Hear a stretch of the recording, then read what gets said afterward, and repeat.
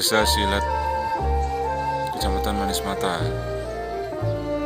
berada di pedalaman, dan ini adalah perkampungan Melayu yang berada di Kecamatan Manis Mata. Satu-satunya perkampungan tua bersuku Melayu. 99% di sini semuanya orang Melayu. Dan saya kalau ke sini seperti pulang kampung rasanya. Karena masyarakat di sini subhanallah. Masyarakatnya baik-baik semua, ramah dan saya dianggap sebagai anak semua di sini. Di mana pun saya main di rumah siapa pun, ya seperti itulah seperti anak dan orang tua sudah lama tak bertemu. Saya asal dari Ketapang. Kalau pulang Ketapang seperti pulang kampung. Dan yang kedua di kampung ini, di kampung silat ini juga seperti itu rasanya. Kalau saya ke sini seperti pulang kampung. Padahal tidak ada keluarga kandung, tapi di sini semuanya seperti saudara kandung, subhanallah. Inilah desa silat Manis Mata. Itu istri saya istriku tercinta itu. Habis belanja paling.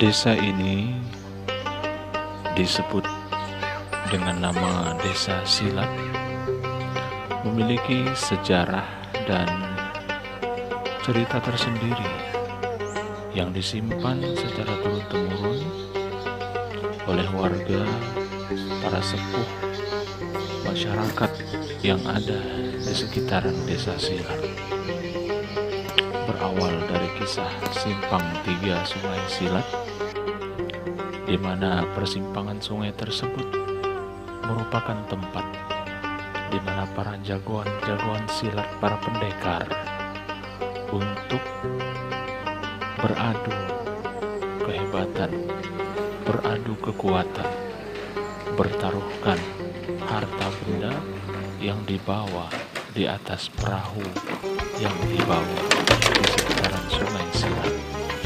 Siapa yang menang dalam persilatan, maka dia yang akan dapatkan barang jarahan tersebut. Asal nama desa silat.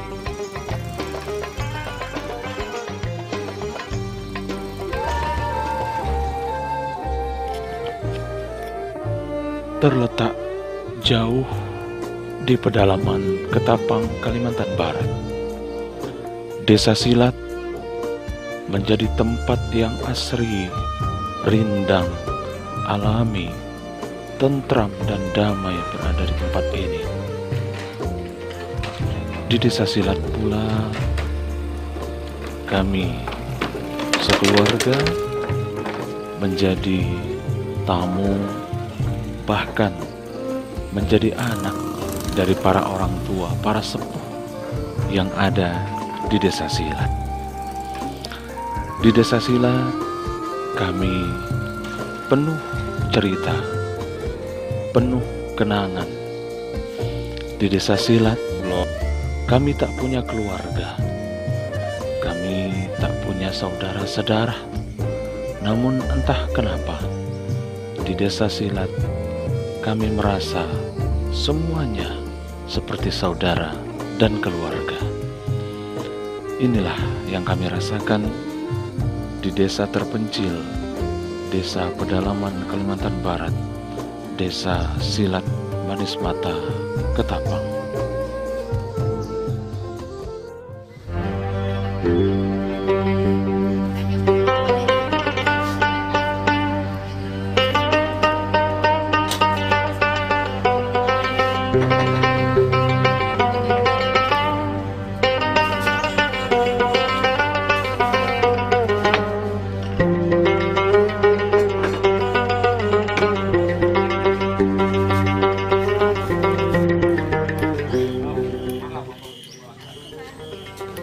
Sahabat. Ini namanya adalah dambus khas alat musik Melayu. Kalau di Ketapang alat-alat ini biasanya produksi adalah pabrik-pabrik besar biasanya. Tapi kalau di daerah-daerah perkampungan seperti ini masih dilestarikan dengan tangan sendiri biar lebih alami. masih